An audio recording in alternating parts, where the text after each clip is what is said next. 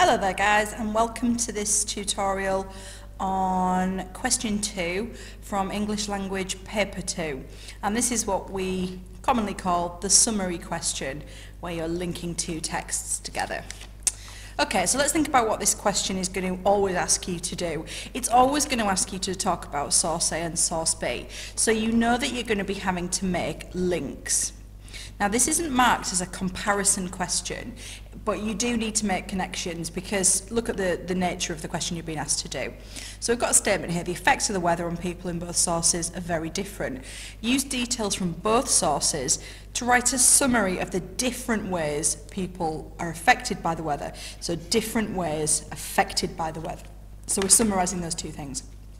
So obviously we're going to skim through the text to, in order to find our evidence. So you will have used some of your reading time um, and uh, many of your teachers may have advised you to approach this exam doing numbers 1, 3, 2, 4. And I think that's a great idea because that means that question 2 you are making links and connections and you're doing the exact same sort of thing. You're taking that to develop it for question 4.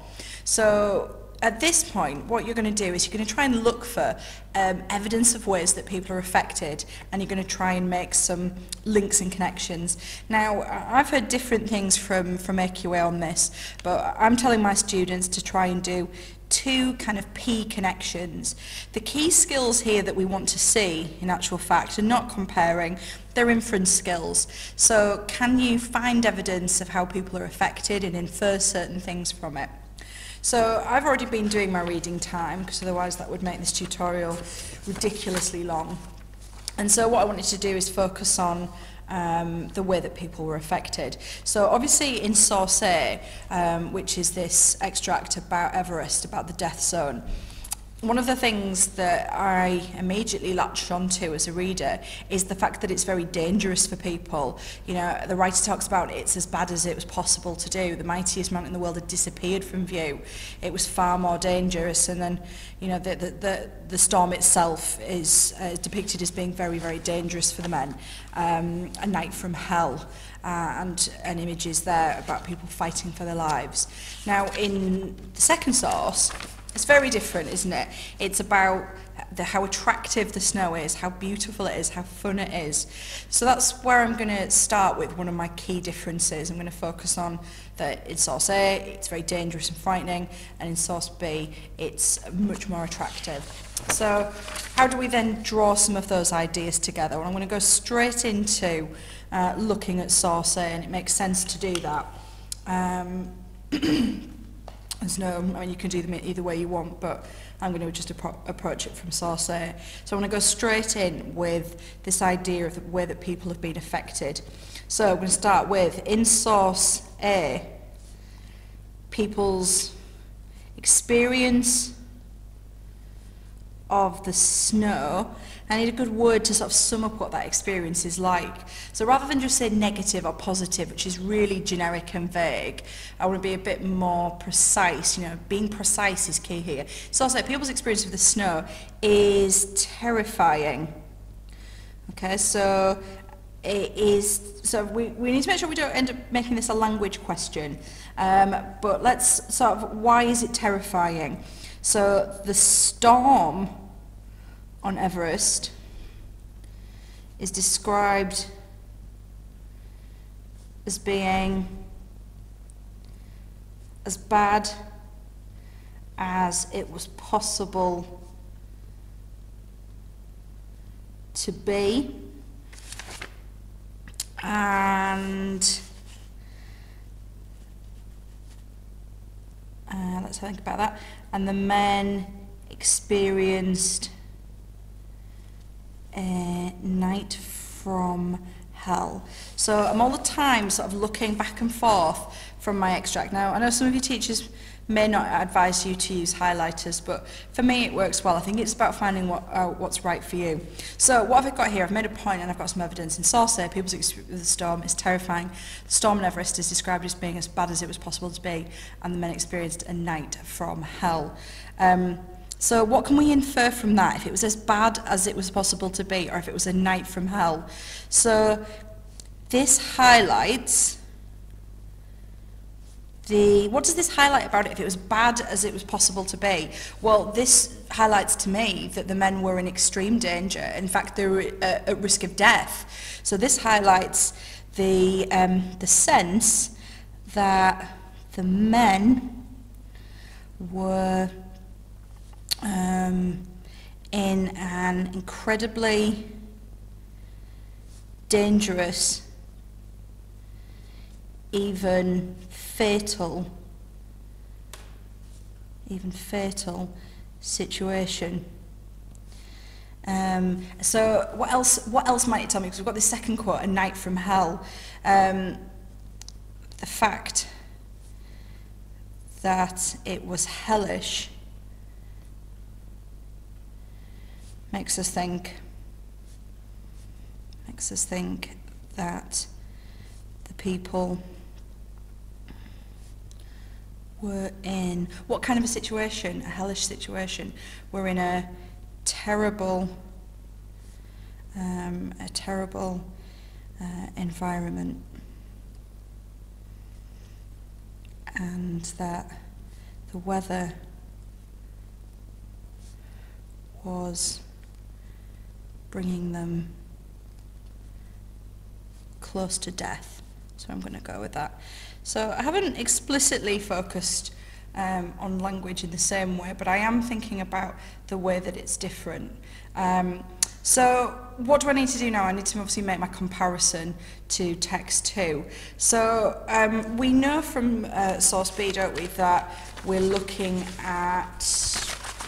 Oops, bear with me. Um, we're looking at the... Um, the, the diary entry here about London in the snow. And we know that it was nothing could be more beautiful and it was exquisite. So we need to make our connection now. So how, I think however's a really good one to show to signpost a difference to the examiner. However in source B the weather is, and don't just say the weather is affects people differently, because that's obvious, um, and it doesn't actually make a, any kind of precise link. So rather than, you know, and it, and it says that in the question, you don't need to repeat that for the examiner. However, in source B, the weather is far less dangerous, and in fact, it brings people real pleasure. Um, we are told that nothing could be more beautiful. So what does that evoke to me? Nothing could be more beautiful, which shows that the weather was a thing of beauty for people. What might it also say? What might other, nothing could be more beautiful. It shows that people found the snow to be almost magical actually improved London. Whereas the storm in Source made things much worse. So you can see from what I've been doing there, I haven't started talking about adjectives and verbs. I'm going to leave all of that stuff for question three. Now, um, I've sort of been, I've done one kind of connected P point here, and that's taken me, you know, that full one side in the booklet. That's why I don't think you are going to be able to do three points in the time you've got. So you'd be looking to spend somewhere in the realm of 10, 12 minutes writing up your ideas to this. So I, I really don't believe that, you know, my hand's hurting, so I don't believe that anyone could be writing um, three of these points, so I would advise for two. So what are we needing to do with this? We need to find some links and connections, and at the top end, we'll be saying, you know, making this this sort of link here, the weather's far less dangerous, and here it's, a, it, it's improved London, whereas the storm in Source has made that place, that environment much worse.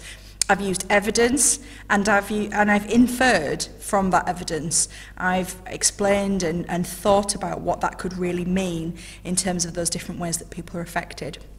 Now, just um, for this, you know, for, to keep this tutorial short, I won't go on and do an additional point, but I think that were I going to, what I'd focus on now here is, look at this, more than 30 climbers were fighting for their lives. You know, what can we infer from that? Well, that it is deadly, that this is a life and death situation. And I might then make the connection to men were scraping and shoveling the footways um, which certainly doesn't sound like their lives were put at risk, does it? People have been affected in a very everyday kind of way. They've not been, um, they've not sort of been uh, they're not at risk of dying in the same way that they are in source So that would be the next point that I would, were I going to write this full answer that I would go on to talk about. What you could do now if you've got your, if you've got a copy of the source, you could yourself practice doing that, or you could, um, you know, you could get any two non-fiction ones and, and, and make your own question quite easily with this. Okay, so just remember on this, try and aim to do two, because the um, in the mark scheme, if you're going to get five, six marks, certainly seven or eight, you've got to look at differences Okay, that plural differences. Um, so you've got to have done it more than once, but I, I really would recommend not attempting three. So key is inference, making some differences and connections between the texts, uh, and that's your question three.